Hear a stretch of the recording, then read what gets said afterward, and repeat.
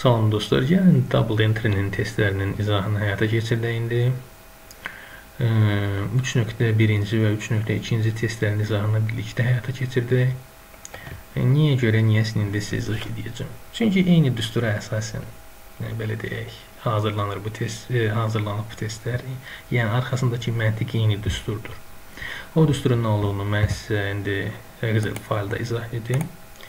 Dövrün sonunda olan kapital closing capital digər adı ilə capital 2 bərabərdir. Dövrün əvvəlində olan kapital opening capital digər adı ilə capital 1 üstəgəlinsin il ərzində əldə olunmuş mənfəət profit üstəgəlinsin capital introduced yəni təqdim olunmuş kapital capital injected digər adı ilə və bir də drawings. Drawings Belə deyək, e, bu birinci düsturumuzdur. Bu düsturun mahiyyəti nədir uşaqlar? Bu düsturun mahiyyəti budur ki, dövrün sonunda olan kapital yəni əlimizdə qalan belə deyək, e, əlimizdə olan kapitalımız bərabər olmalıdır. İlin əvvəlində olan kapital, il ərzində əldə olunan profit ilin əvvəlindəki kapitalın üstünə gəlir. İl ərzində həmin kapitala yatırdığımız pul da capital introduced həmin kapitalın üstünə gəlir və həmin kapitaldan öz şəxsi istifadəmiz üçün pul götürürüksə, drawings adı altında həmin kapitaldan çıxır. Bu birinci düsturumuz. İkinci düsturumuz isə var. İkinci düsturumuz budur. Net assets net assets. Net assets uşaqlar. Net assets-in düsturu belədir. E, dövrün sonunda, əgər net asset deyir bizə, başqa heç nə demirsə, biz bunu dövrün sonuna olan net asset olaraq qəbul edirik. Və net asset nədir? E, dövr ərzində, dövrün sonunda əlimizdə qalan bütün aktivlərdən, bütün öhdəliklərimizi çıxanda yerdə qalır net asset, hansı ki, bu bizə elə dövrün sonuna olan kapitalın özünü verir. Yəni kapital 2-ni. Dövrün sonuna olan kapitalın digər adı nə olacaq? Olacaq assets minus liabilities. Gördüyünüz kimi. Assets minus liabilities. Bu iki düsturu nəzərə alanda istənilən bu tipli misalları, yəni 3.1 və 2 tipli misalları həll eləmək asandır. Baxın indi uşaqlar, e, deməli, e, which one of the following can the accounting equation can be written as? Verilənlərdən hansı maliyyə bərabərliyi olaraq yazıla bilər? Baxın, e, burada assets minus liabilities-i bir arada götürün və onu close, e, belə deyək, closing capital olaraq qəbul edin. İndi burada assets minus liabilities-i mən ikisini də nəzərə alanda sol tərəfdə də closing capital alınır, sağ tərəfdə də closing capital alınır və düstur öz mənasını itirir. İkinciyə baxaq. Assets minus liabilities, yəni oldu closing capital Closing capital bərabər olmalıdır. Onda drawings-i keçirdək sağ tərəfə. Burada mənfidir. Sağ tərəfə keçəndə müsbət olacaq. Biz demişdik ki, closing capital bərabərdir mənfi drawings. Ona görə ikinci də düz gəlmədi. Üçüncüyə baxaq. Assets minus liabilities verdi bizə closing capital. Bu bərabər olmalıdır. Opening capitalı sağ tərəfə keçirdək. Olacaq opening capital müsbət. Üstə gəlinsin profit. Drawing sağ tərəfə keçəndə mənfi olacaq və çıxılsın drawings. Və bu düstur, bəli, ödəyər. Bu düstur ödəyər məntiqlə, yəni bərabərliyi ödəyər. Baxaq D bəndinə assets minus e, liabilities-i sol tərəfə keçirdəndə assets plus liabilities olur. Bu isə məntiqsizdir. Bu bərabərlikdə heç vaxt asset və liability eyni tərəfdə biri müsbət, digər hər ikisi müsbət və yaxud hər ikisi mənfi ola bilməz. Biri müsbətdirsə, digər mənfi olmalıdır. Və onların fərqi bizə closing capitalı verməlidir assets plus liabilities deyə bu düsturda bir şey yoxdur. Ona görə bizim cavabımız olacaq C bəndi. Baxaq 3.2-ci sualın həllinə. 3.2-də isə deyir ki, profit nəyə bərabər olar? Net profit. Eləmi? Gəlin belə deyək. Buradan profiti yadınızda saxlayın. Profiti burada saxlayıb qalan hər şey bərabərliyin digər tərəfinə keçirsək, onda belə bir şey alırıq. Opening capital daha doğrusu closing capital çıxılsın opening capital, çıxılsın capital introduced, üstə gəlsin drawings. Eləmi? İndi baxaq burada. Profit bərabər olmalıdır da belə çıxır ki, closing capital closing capital çıxılsın opening capital, eləmi? -hı. Closing capital çıxılsın opening capital olmalıdır. Bax burada görürsüz opening capital çıxılsın closing capitaldır. Ona görə D bəndi düzgün deyil. C bəndi də düzgün deyil. Çünki opening capital digər tərəfə keçəndə mənfi olmalıdır. E, opening capital və A bəndi də düzgün deyil. Opening capital müsbət alınıbdır. Deməli, yeganə düzgün cavabımız olacaq B bəndi. Yəni sadə bir tənlik məsələsidir. Sadəcə olaraq profiti sağ tərəfdə saxlayın və qalan bütün belə deyim, digərlərini e, keçirdin sol tərəfə. Sadəcə olaraq işarəsini dəyişin. Müsbətdirsə mənfi, mənfidirsə müsbəti və görün profit isə nə verir. 3.2-ci sualda belə. Keçək 3.3-cü sualın həllinə. 3.3-cü sualın həlli çox da çətin olmasa gərək 3.3-cü sual. 3.3-cü sualın həlli də elə eyni prinsipə əsaslanır, eyni düstura əsaslanır. Bizə buyurur ki, the profit earned by a business in 2017 was 72500 İlin əvvəlində müəssisə tərəfindən qazanılmış profit, daha doğrusu il ərzində müəssisə tərəfindən qazanılmış profit 72500-dür. Mən götürüb bunu düsturda yerinə yazıram. Baxın, profit, profit altından yazdım. Eləmi? Altından yazdım profitin nə qədər olduğunu. Daha doğrusu belə deyək, profit orada deyil əslində. Əslində profit orada deyil. Bərabərliyi belə yazaq. Profit əslində buradadır. Düsturda gördüyünüz kimi yerinə yazdım. 72500 və ondan əlavə e, The proprietors injected new capital. Capital injected götürüb düsturda yerinə yazdım. Müsbət 8000 During the year, withdraw goods for his private use, which had cost 2200. Drawings-i də 2200 qəbul elədim. Yerində yazdım mənfi olaraq düsturda gördüyünüz kimi. Ondan sonra bizdə nə qalır? Deyir ki, if net assets at the beginning, yəni opening capital o 101700 yazdım burada yerinə. Gördüyünüz kimi 101700, 101700. Və məndən əlbəttə ki, nə istəyəcək olur? closing net assets yəni closing capital digər adı ilə net assets capital indi closing net assets də closing net capital da bizə 180 min verir kənarda hesablamanı həyata keçirmişəm gördüyünüz kimi baxın bu hesablamadır bu hesablamadır kənarda bunu həyata keçirmişəm və 180 min verir bizə. Ona görə bizim cavabımız olacaq deyə bəndə sadəcə olaraq düsturu tətbiq edirsiniz. Ən başda qeyd elədiyim düsturu tətbiq edirsiniz və salam. İndi isə keçək 3.4-cü misalın həllinə. 3.4-cü misalda bircə dənə çətin nüans buradan ibarətdir ki, burada withdraw və monthly salary 500 deyəndə bunu götürüb illik withdraw olaraq qəbul eləməyin. Monthly dediyinə görə, yəni bir ay ərzində 500 drawings olursa, onda siz götürüb bunu vuracaqsınız 12-yə. 500 vuracaqsınız 12-yə, deməli sizin illik drawinginiz nə qədər olacaq? 6000. Və siz həmin düsturda, həmin düsturda drawingsi 6000 olaraq qəbul edəcəksiniz. Baxın burada gördüyünüz kimi drawingsi 6000 olaraq qəbul edəcəksiniz. Və bizdən nə istəyir? Gəlin baxaq. Bizdən istəyir ki, bizdən istəyir ki, opening capital nəyə bərabərdir? Əgər mən belə deyək, bu düsturdan opening capitalı yerində saxlasam, qalan hər bir veriləni bərabərliyin digər tərəfinə keçirsəm, onda bərabərlik bu formaya düşəcək. Opening capital bərabərdir closing capital, çıxılsın profit, çıxılsın capital introduced, üstə gəlsin drawings. Baxın bu formada həyata keçəcək. Hmm. Bu formada həyata keçəcək, gördüyünüz kimi və Gəlin indi closing capitalı yerinə yazaq. Məsəl üçün closing capitalımız nə qədərdir bizim? 95100. If net assets at the end, if net assets at the end of the year deyirsə, bu closing capitaldır. 95100 yerinə yazdım. Ondan sonra nə lazımdır mənə? Profit. Profit il ərzində nə qədər idi? Profit 35400. Yazdım burada da yerinə 35400. Capital injected. Injected new capital. Yəni capital introduced 10200 mənfi olaraq yazdım bura və drawings-i də müsbət olaraq yazıram. Bərabərlikdən bərabərliyin digər tərəfinə keçdiyinə görə müsbət olur. 6000 drawings qəbul edirəm və mənim cavabım mənə verir 55500. Burada da solda gördüyünüz kimi hesablamanı həyata keçirmişəm burada. Və bu hesablamanın cavabı bizə verir 55500. Cavabımız olacaq nə olur? 55500. İstəsəz özünüz bunu qeyd eləyə bilərsiniz. Bu qədər dostlar. 3.5-ci misaldan etibarən testlərin davamını növbəti video dərsdə həyata keçirdəcəyik. Sağ olun, diqqətinizə görə təşəkkür edirəm. Salam dostlar. Gəlin indi 3.5-ci hmm, testin izahından davam edək qaldığımız yerdə. A sole trader took some goods costing 800 from inventory for his own use.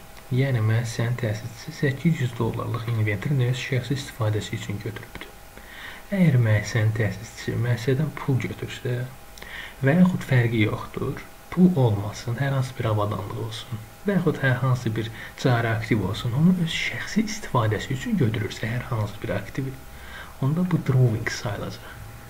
Deməli, müəssisənin təsisçisi nə qədər drawings edibdir? Müəssisənin təsisçisi 800 dollar dəyərində drawings edibdir. Və bizə eyni zamanda da buyurur ki, the selling price of the goods normalda 1600 dollardır. Bizdən istəyir ki, bu belə deyək, e, əməliyyatın double entry-sini tapaq. Baxın indi məntiq nədir? Məntiq budur ki, e, bizə deyir ki, müəssisənin təsisçisi 800 dollarlıq ə, avadanlığı və daha doğrusu inventorini öz şəxsi istifadəsi üçün götürüb eləmi? İndi biz oturaq fikirləşək. Əgər bu müəssisənin təsisçisi özü götürübsə əgər bunu, deməli bu inventory, bu mal satılmayıb. Satılmayıbsa deməli satış baş verməyib. Satış baş verməyibsə deməli satışla bağlı heç bir əməliyyat baş verməyib. Əməliyyat baş verməyibsə satış əməliyyatının double entry-sini yazmağa ehtiyac yoxdur. Ona görə 1600 ilə olan bütün cavablara çıxın. Çünki heç bir salesdan söhbət gedə bilməz. Və sales account harda görsəz çıxın. Çünki heç bir satış baş verməyibdir. Nə baş veribdir? Sadəcə olaraq drawings baş veribdir. Drawingsin double entry-si nədir? Drawingsin double entry-si kreditlərdə, yəni kapitalda azalma və eyni zamanda da aktivlərdə azalmadır. Yəni aktivlər tərəf kredit olmalıdır. Öhdəlik və kapital tərəfi isə, yəni kreditlər tərəfi isə debit olmalıdır. Və kreditlər tərəfdə biz debit drawings yazırıq. Debitlər tərəfdə isə kredit hansı aktivdirsə, həmin aktivdə qeyd edirik. Məsəl üçün, məsəl üçün e, belə deyək. İndi inventory mal götürülübsə, o mal il ərzində götürülübsə, deməli, deməli e, bu e, götürülmə, bu götürülmə il ərzində ambara gələn alışlar var, purchases. Həmin purchaselərdən götürülübdür. E, sual verə bilərsiniz, niyə inventory accountundan yox? Çünki inventory accountu yalnız və yalnız ilin sonunda olur. Ona görə biz purchase accountundan drawings edirik və credit purchase yazırıq. Debit isə drawings yazırıq. Cavabımız olur B bəndi. Bu belə 3.6-cı sualın izahına keçək. A business can make a profit and yet have a reduction in its bank uh, balance. Which one of the following might cause this to happen? Deyir, müəssisə, müəssisə belə deyək, mənfəət əldə edə bilər. Ancaq onun profiti, daha doğrusu bank balansı mənfi görsənə bilər. Bu proses hansı halda baş verə bilər? Gəlin bütün cavabları bir-bir oxuyaq. Sale of non-current assets uh, at a loss Yəni non-current əssetləri satırıq, zərərə düşürük, eləmi? Biz non-current əseti satanda biz deyə bilmərik ki, bizə pul gəldi və yaxud gəlmədi. Bunu konkret bilmirik. Ona görə bu bizim sualımızda cavab olamıyor, olmayacaq. Bilmirik konkret olaraq bizə pul gəldi, yoxsa gəlmədi. Zərərə satmış olsaq belə. B bəndinə baxaq. Charging of depreciation in the statement of profit or loss. Yəni amortizasiya Amortizasiya baş verən zaman bizim cibimizdən bir qəpik də pul çıxmır. Yəni bilmirik. Daha doğrusu bilirik ki, faktiki olaraq pul getməyibdi. Yəni bank hesabımızda azalma baş verməyibdi. Ona görə. B bəndində cavab olaraq götürmürəm. Baxaq C bəndlərinə. C bəndində buyurur ki, the lengthening of period of given credit given to customers. Müştərilərə verilən kreditin müddətinin uzadılması. Tamammı? Müştərilərə verilən kreditin müddətinin uzadılması. Aha. Burada belə bir nüans çıxır ortalığa. Siz müştəriyə kreditə pul verirsiniz, eləmi? Bank balansınız necədir? Bank balansınız mənfi görsənir. Ancaq, ancaq müştəri pulu tez qaytardığına görə siz həmin müştəriyə faiz kəsirsiniz və sizin gəliriniz artır. Siz profit əldə edirsiniz, ancaq bank balansınız mənfidir. Aydındırmı fikrim? Yəni sizə pul gəlmir, müştəri gətirib pulu vermir. Ona görə sizin bank balansınız mənfi görsənə bilər. Tutalım. Əgər bank balansınızda belə deyim overdraftınız varsa mənfi görsənə bilər. Ancaq bu demək deyil ki, pul gəlmədiyinə görə siz mənfəət əldə eləmirsiniz. Mənfəət əldə edirsiniz imenlə o pulun gəlmədiyinə görə. O pulun gəlmədiyinə görə bank balansının mənfi qalmasına görə mənfəət əldə etmiş olmusunuz. Fikir verirsiniz? D bəndinə baxaq. The lengthening of period of credit taken from suppliers. Müştərilərdən, müştəri, daha doğrusu təchizatçılardan götürdüyümüz pul var ha həmin pulun təchizatçılara gec qaytarılması, eləmi? Bu o deməkdir ki, bizim bank balansımız müsbət olacaq. Yəni təchizatçılara pulu verməliydi, bizim bank balansımız müsbət qalır. Ona görə cavabımız D bəndi olmayacaq. Cavabımız nə oldu uşaqlar? Cavabımız C bəndi oldu. 3.6-da belə. Keçək 3.7-ci suala. 3.7-ci sualda buyurur. If net assets of Altis trader at uh, 1 yanvar 2012 amounted 128 min. Hı -hı. Deməli ilin əvvəlinə olan kapital nədir? 128 mindir. During the year to 31 dekabr 2012 Altis introduced a further 50 min. Capital introduced 50 mindir. Hı -hı. Bunu da qeyd edin. And made drawings. Drawing 48 mindir. 31 dekabr 2012-də isə Altizin net əsətləri, yəni ə, closing kapitalı 184 mindir. What is Altis profit or loss for the year ended 31 dekabr 2012. Yəni mənfəət əldə edib yoxsa zərər? Zərər. Bunu tapmağa çalışmalıyıq. Bunun üçün gəlin düsturu yazaq. 3.7-ci düsturu. 3.7-ci testin düsturunu. Baxın, opening kapitalı qeyd eləmişəm, eləmi? Opening kapitalı 128 min. Bu düsturdan da gördüyünüz kimi profit burada nəyə bərabərdir? Bu düsturdan. Closing capital bərabərdir opening capital üstə gəl profit üstə gəl capital introduced minus drawings. Buradan profit bərabərdir capital 2 çıxılsın capital 1 e, çıxılsın capital introduced üstə gəlsin drawings. Gördüyünüz kimi. Və rəqəmləri də gətirib yerində yazsaq, rəqəmləri gətirib yerində yazsaq, məsəl üçün capital 1-in capital məsəl üçün mən burada yazmışam gördüyünüz kimi uşaqlar capital introduced, drawings və capital 2. Hamısının rəqəmlərini gətirib burada yerinə yazsaq, profit bizə nəticə etibari ilə müsbət 54 min verəcək. Əgər o mənfi alsaydıq profit, onda bizim lossumuz olardı. Deməli, cavabımız nə oldu? Cavabımız oldu 54 min profit uşaqlar. Bu formada həyata keçirə bilərsiniz misalın həllini. 3.8-ci suala baxaq. 3.8-ci sualda e, belə deyək, bizdən double enter istəyir. E, 3.8-ci sualda bizdən double enter istəyir. Gəlin baxaq. Hmm, 3.8-ci sualda. Hmm, deyir ki, 2 dənə əməliyyat verir və 2 dənə əməliyyatın double enterisini istəyir. Payment 400 dollar to blocks for a cash purchase. Nağd alışa görə bloksa belə deyək, e, e, daha doğrusu cash purchase 400 dollar nağd alış edib ödəniş eləmişik. Aydındırmı? 400 dollar. Məsələn. İndi 3.8-ci sualda double entry-yə fikir verin. Birinci əməliyyat bu ay ərzində nağd alış eləmişik. Nağd alışın double entry-si debit purchase 400, credit cash 400. Bu belə. İkinciyə baxaq. Payment 250 to the do G do in respect of an invoice for goods purchased month. Keçən ay 250 dollarlıq mal almışıq. İndi də o malın ödənişini edirik. İndi biz nə etməliyik? Keçən ayki double entry-ni nəzərə almalıyıq. Aydındır? Keçən ay 250 dollarlıq alış eləmişiksə və indi invoice-ə görə ödəniş ediriksə, deməli keçən ay biz nisiyə almışıq. Keçən ay nisiyə alış eləmişiksə, onun double entry-si belə olacaq. Baxın, cari əməliyyatlarımız indidir. Cari double entry-lərimiz. Bu isə keçən ay baş verəndir. Və biz fokuslanacağıq carilərin üstünə. Ancaq keçən ayda nəzərə almalıyıq ikinci əməliyyatda. Yazırıq debit purchase 250 credit payable. İndi o credit payable-ımız qalıb. Onun ödənişini edirik bu ay. Və götürürük payable account-ı silirik, debit payable edirik və nə qədər pulumuz çıxır bizim? Credit cash 250, debit payable 250, credit cash 250.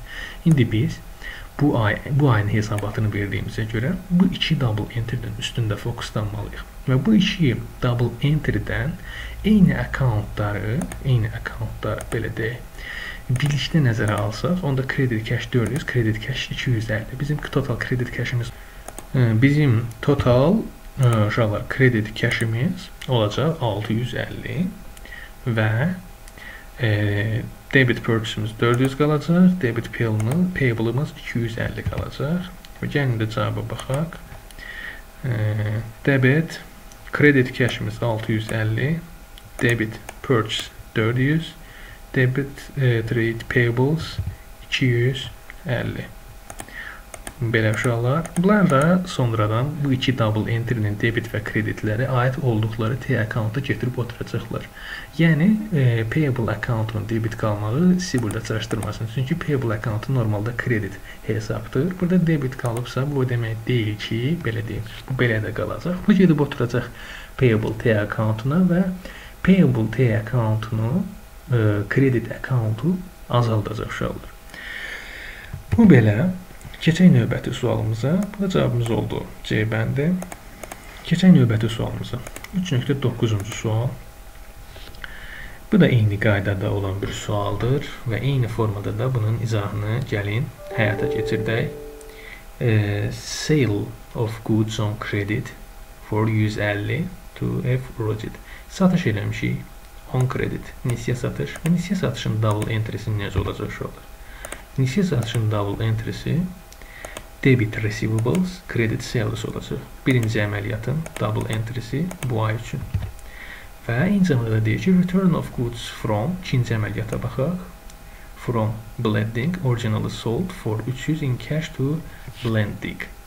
E, yəni, belə deyək, keçən ay, keçən ay, return of goods from blending. E, 300 dollarlıq satış eləmişik. Nağd satış eləmişik. Və indi o 300 dollarlıq nağd satışımız bizə geri qayıdır. Keçən ay nə baş vermişdi? Nağd satış baş vermişdi. Keçən ayki double entry-ni yazaq. Debit cash, credit sales. Bu ay isə o 300 dollarlıq mal bizə geri qayıdırsa, onda double entry olmalıdır. Debit sales return, yəni satışın geri qayıtması. Credit isə cash 300. Bu formada çalır. Və və belə deyək, İndi isə, indi isə e, bizi what are the correct ledger entries to record this transactions deyəndə bu ay üçün, yəni this month üçün olan transactionlar istəyir bizdən. Burada belə deyək, eyni hesabları toplaya bilmərik. Niyə görə? Sales və sales returns account var. Fikirləşəcəksiniz ki, gəlin bu hesabları bir-biri ilə belə deyək, e, bir-birinə üzləşdirək, amma ehtiyac yoxdur bunu üzləşdirməyə. Çünki sales və sales returns akkauntları il ərzində ayrı-ayrı hesablanır və ilin sonunda onlar üzləşdirilir. Yəni onları bir-birinə qatmayın. Çalışın qatmayın. Yalnız və yalnız ilin sonunda maliyyə hesabatları hazırlananda total sales returnslər total saleslərdən çıxılır. Və hələ ki biz bu formada cavabımızı təqdim edə bilərik. Debit receivables 150, credit sales 150, Debit sales 100, sales returns 300, credit cash 300. Bu formada baxsaq, debit receivables, credit, daha doğrusu debit receivables 150, gördüyünüz kimi debit sales returns 150, credit sales 150 və credit cash 300. Bu formada və bizim cavabımız olacaq A bəndi. Bu qədər uşaqlar.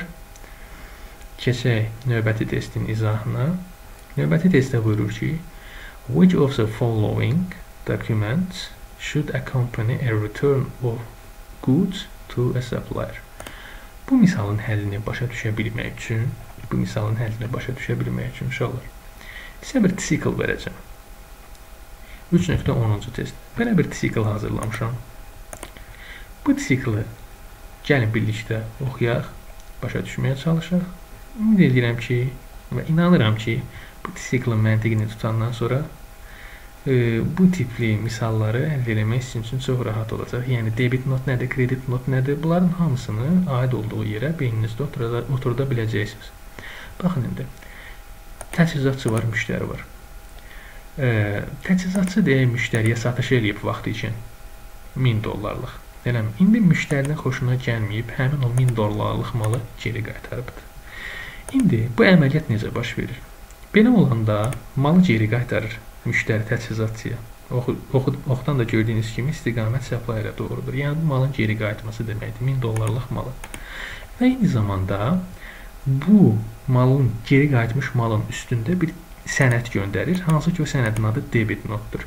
Debit not bildirir ki, müştəri supplier-ə deyir ki, mən 1000 dollarlıq malı sənə geri qaytarıram.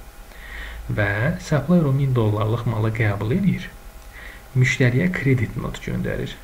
Və kredit notda göndərməkdə məqsəd budur ki, supplier müştəriyə qayıdır, deyir ki, customer-ə. E, mən sənin e, səndən gələn 1000 dollarlıq malı qəbul elədim və səndən 1000 dollar alacağım var idi, sonra olacağı sildim. Yəni, yəni e, supplierin satışı geri qayıdır. Deməli, supplier kiməsə kredit not göndərirsə, deməli bunu harda qeyd eləməlidir? Satışın geri qayıtması kitabında, yəni sales returns. Və müştəri malı geri qaytarırsa, özünün maliyyə hesabatlarındakı maliyyə hesab maliyyə he, e, belə deyək, mühasibatlıq kitablarından hansını da qeyd eləməlidir bu debit notu. Malı geri qaytarır baxın. Bu gedib düşməlidir Purchase Returns Daybook-a, yəni alışların geri qayıtması kitabına. Deməli, malların geri qayıtması kitabına Purchase Returns Daybook-a debit not gedir. Sales Returns Daybook-a isə credit not gedir. İndi burada nə deyir bizə? The following should accommodate return of goods to supplier? Yəni burada bu sualda müştəri tərəfdən yanaşılıblar. Müştəri tərəfdən yanaşıblar və e, deməyə çalışırlar ki, e, müştəri tərəfdən bax, debit nota bax və bu debit not hara gedib düşəcək? Ona bax. And purchase returns debit-a gedib düşür. Məsələn, ona görə cavabımız olur. E, belə deyək. Debit not. Bu belə. Gəlin 3.11-ci suala baxaq. İzah eləməyə çalışaq. 3.11-ci sualda nə buyurur? Which of the following are books of prime entry? Verilənlərdən hansı ilkin yazılış kitablarıdır? Books of prime entry-yə daxildir. Bu sadə bir sualdır. İnanmıram burada nəsə çətinliyiniz ola. Bilirsiniz kitablarımızı Sales Daybook var, Sales Returns Daybook var, Purchase Daybook var, Purchase Returns Daybook var, Cash Book var, Petty Cash Book var və bir də Journal var. Bu ə, kitablarda Purchase Ledger deyə bir prime entry book yoxdur. Sadəcə olaraq accountun adıdır. Aydındır. Ona görə siz 1, 2, 3 cavab olaraq qəbul edə bilərsiniz. 3.12-ci suala baxaq. In which book of prime entry will a business record debit notes in respect of goods which have been sent back to suppliers? Hansı için yazılı kitabında? Hmm, fikir versiniz təkrar sualdır. Debit notes in respect of goods which have been sent back to suppliers. Əlbəttə ki, bayaq da dediyim kimi debit notlar hara gedir? Debit notlar gedir e, customerin maliyyə hesabatlar, maliyyə kitablarından purchases, returns daybook-a. Record debit notes in respect of goods which have been back to suppliers. Bu belə. Cavabımız oldu C məndə. Baxaq 3.13-cü suala. A company's motor vehicles at cost bu qədər. 3.13, 14 Bunlar eyni tipli suallardır. Gəlin bunları həll eləməyə çalışaq. Baxın, bu tipli sualı həll eləmək üçün belə deyək, özünüzü çaşdırmağa ehtiyac yoxdur. Bu tipli sualı həll eləmək üçün sadəcə olaraq götürün həmişə CD-ni silin. CD-ni silin. Çünki CD sizin beyninizi qarışdıracaq. Əgər belə deyim, e, CD isə problem yaradırsa, bu cür misallarda çətinlik yaşayırsınızsa, mənim sizə ən gözəl məsləhətim budur ki, CD-ni silin. Heç elə bilin ki, burada CD deyə bir şey olmayıb. Tamam. Bunu nəzərə almasaq, bunu nəzərə almasaq, görərik ki, yəni misal nə dərəcədə sadədir. CD-ni sildik deyək. Motor vehicle account. Sol tərəfi debit, sağ tərəfi kredit olaraq qəbul edin. İlin əvvəlində müsbət 150.500 debit idi, eləmi? 85.000 kredit oldu. Əlimizdə nə qaldı? E, daha doğrusu e, belə deyək. E, 120.950-də il ərzində debit oldu. Yəni artım oldu. Azalma bu qədər olub, artım bu qədər olubdu. Nə etmək lazımdır? 150.500-ün üstünə 120.950 gəlib 85.000 çıxmaq lazımdır və qalığı tapmaq lazımdır. Və qalıq da harda qalacaq? Və qalıq da əlbəttə ki, uşaqlar, e, qalacaq debitdə. Eləmi? Və bizdən nə tələb edir? Gəlin ona baxaq. What opening balance should be included in the following period trial balance? Hı -hı. Uzun sözün qısası bizdən e, balans istəyir, qalıq istəyir, yəni e, 1 iyul 2016-cı il tarixinə. 1 iyul 2016-cı il tarixinə fikir verin. Bu T-account verilibdir. 30 iyun 2016-cı il tarixində bitən period üçün verilibdir. Eləmi? 30 iyun 2016-cı il tarixində bitən period üçün verilibdir. Ancaq burada isə 1 iyul 2016-cı il tarixindəki balans istəyir bizdən. Fikir verin, 30 iyun 2016-cı ildən bir gün sonra. Bu o deməkdir ki, növbəti periodun əvvəlinə olan qalıq istəyir bizdən. Və növbəti periodun əvvəlinə olan qalıq bu periodun sonuna olan qalıq olmalıdır. Eləmi? Bu periodun sonuna olan qalığı gəlin hesablayaq. Hesablayaq və 150.500 üstə gəlir 120.950 çıxılsın 85.000 bizə verir nə? 186.450. Yəni periodun sonuna olan qalıq debit 186.450-dir və növbəti ilin əvvəlinə olan qalıq da elə buna bərabər olacaq. Ona görə cavabımız olacaq D bəndi. İndi gəlin 3.14-cü sualı həyata e, izahını həyata keçirdək. A company's trade payable account 30 sentyabr 2011 is as follows. Yəni şirkətin trade payable accountun T accountu bu formadadır. Yenə də deyirəm sizə, CD-ni silin. Elə bilin ki, CD yoxdur. Tamam. CD deyilən bir şey verilməyibdir sizə. Əgər belə deyim, yəni sizin üçün problem deyilsə bu CD ilə başa düşə bilirsinizsə, əla. Yəni onsuz da mənim sizə bunu izah eləməyə ehtiyacım yoxdur. Yox, əgər CD-ni başa düşmürsünüzsə, yəni birinci dəfədən misala CD ilə yanaşmayın. CD-siz həll eləyin. CD onsuz da yerini tutacaq. CD sadəcə olaraq nədir? Mənsədir.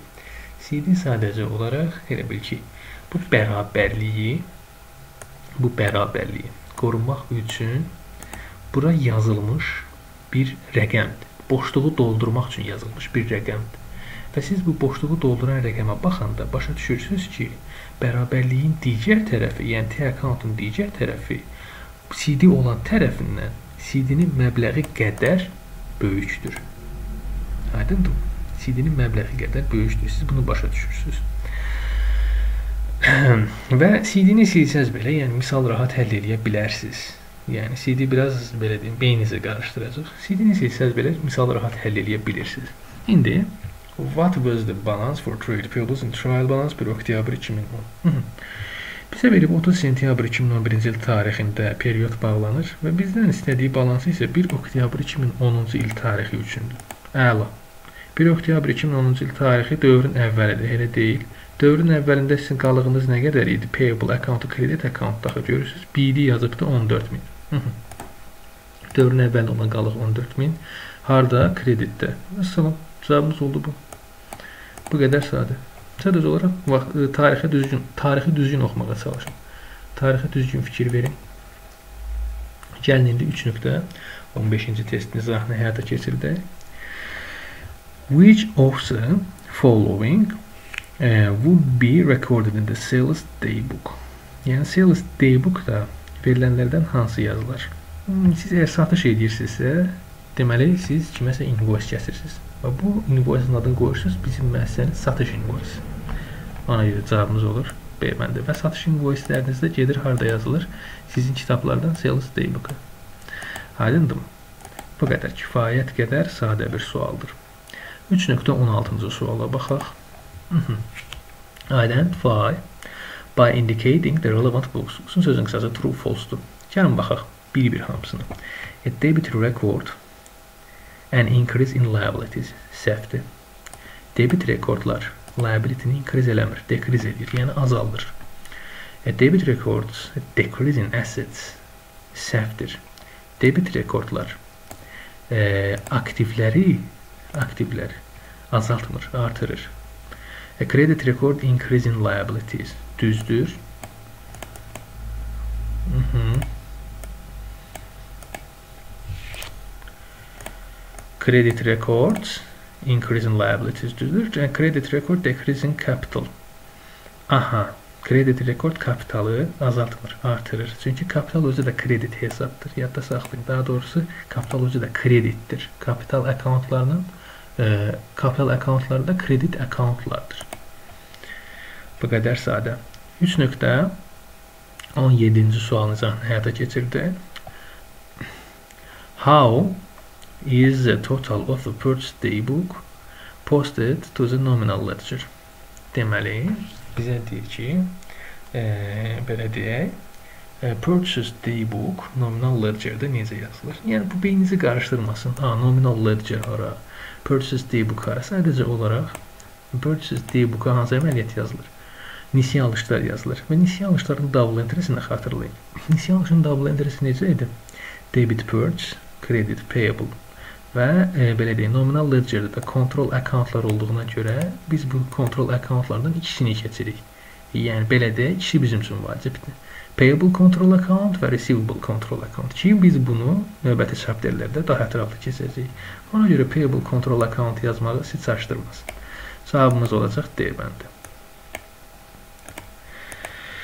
İndi isə 3.18-ci suala baxaq və 19-cu suala baxaq. Which one of the following statements about an impress system of petty cash is correct?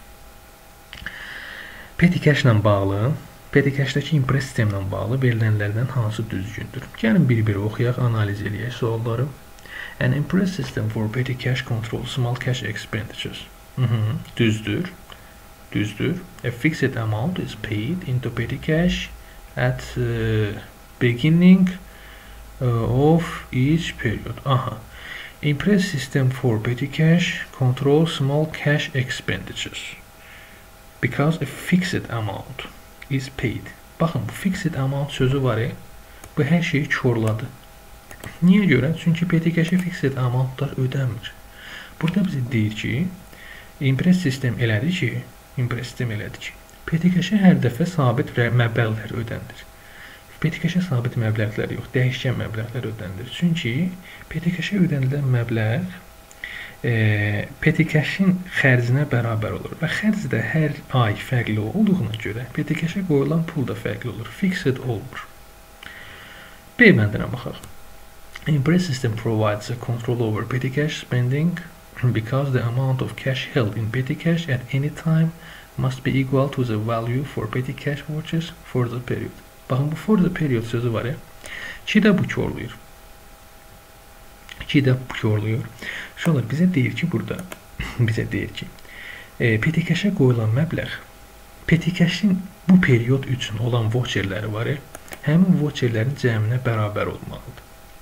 PTK-şə bu periodun əvvəlində qoyulan məbləğ keçən periodun keçən periodun voucherlərinin cəminə bərabər olmalıdır. Bu periodun yox. Ona görə baxın bu sualın e, səhvliyi baxın burdadır. C bəndinə baxaq. An impress system for petty cash can operate without the need for petty cash vouchers or receipts for spending. Biz e, bağıra-bağıra deyirik ki, petty cash deyəndə birinci voucher yada düşür və yaxud resiptlər başa düşür. Yəni və burada da deyir ki, impress sistem voucherlərsiz və resiptsizlər də resiptlər olmadan da həyata keçirilə bilər. Ona görə səhvdir. D bəndi. An impress system for petty cash helps with management of small cash expenditures and reduces the risk of fraud. Bu düzdür. Impress sistem fırıldağın qarşısını alır və small cash-ləri də idarə edir. Bu da yanlış bir fikir yoxdur. Ona görə bizim cavabımız olacaq D bəndi. Yerlərində də niyə səhv olduğunu mən sizə izah elədim. 3.19-cu suala baxaq uşaqlar. Which of the following provides evidence that item of expenditure on petty cash has been approved or authorized? Cavabımız olacaq petty cash voucher. Petty cash deyəndə nə yada düşürdü uşaqlar? Petty cash voucher və yaxud petty cash resiptlər. Və əsasən də petty cash-lə pul daha çox xərcləndiyinə görə petty cash voucherlər yada düşəcək. Bu qədər uşaqlar. Dördüncü sualların izahında inşallah sizlə görüşərik. Hələlik özünüzdən müğayət olun. Sağ olun, diqqətiniz